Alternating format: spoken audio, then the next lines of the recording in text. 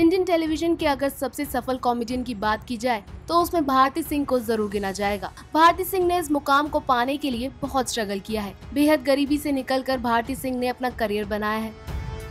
अब भारती सिंह ने बताया है कि उन्हें किस तरह शुरुआती दिनों में छेड़खानी का भी सामना करना पड़ा था।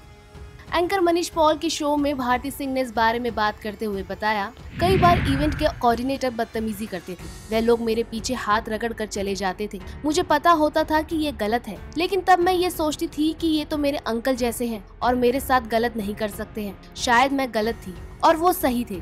अब मुझे पता चलता है कि ये सब बहुत गलत था।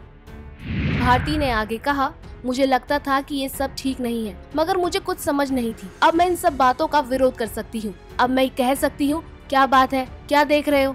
बाहर जाओ, मुझे चेंज करना है।